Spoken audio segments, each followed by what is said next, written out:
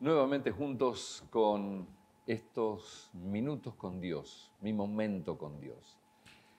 Hay personas que le cuesta dormir, hay personas que se acuestan y se acuerdan de todos sus problemas juntos. Em, hay personas que viven tiempos en los que duermen bien y otros que están complicados. ¿Qué teme el insomnio? Resulta que la ansiedad está tomando, em, está tomando preeminencia en las patologías emocionales de la gente. La, ansiedad está generando distrés, está generando em, algunos problemas físicos por cuestiones psicosomáticas. La ansiedad está afectando el sueño de mucha gente. Sin embargo, saben que dormir bien te hace joven, te, mantiene joven, dormir bien eh, te hace estar más activo, más eficiente al día siguiente. Es muy importante. Y a pesar de lo que diga la publicidad que ves en, televisión o en las redes, comprar un buen colchón no te asegura que tengas un buen descanso. El descanso real viene por otra parte.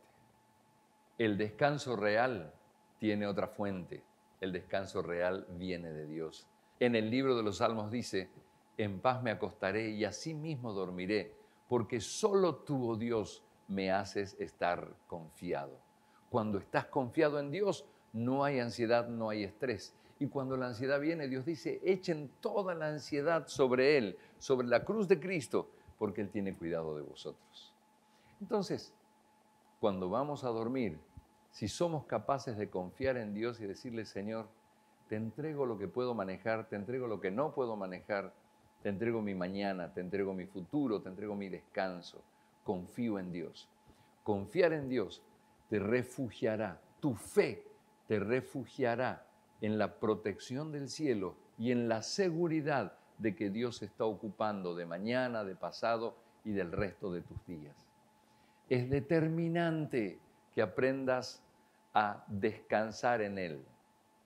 Y no me refiero a que puedas cerrar tus ojos y tomarte una pastilla para dormir. Estoy hablando antes de dormir, descansar en tu alma y decir, Dios me está cuidando, Él es mi protector, Él es mi pastor, Él es mi verdad. Él es el que está gobernando el cielo y la tierra y el que determina lo que va a pasar. Y vos dijiste, Dios, que vos tenés pensamientos de bendición, de futuro, de bendición en el futuro, de bendición para ahora. Tenés todas las cosas preparadas.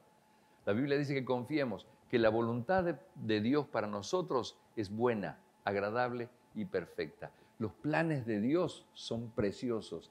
Relájate, confía en Dios y dormí tranquilo cada noche.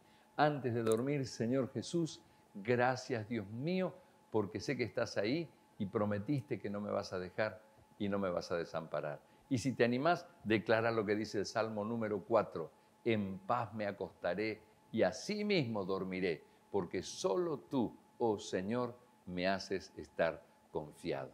Que Dios te bendiga y te libre de toda ansiedad, de toda preocupación y de todo estrés. Porque cuando ponemos todo en sus manos, nada te va a movilizar y que esta noche tengas felices sueños y que hoy tengas un muy buen día. Que Dios te bendiga.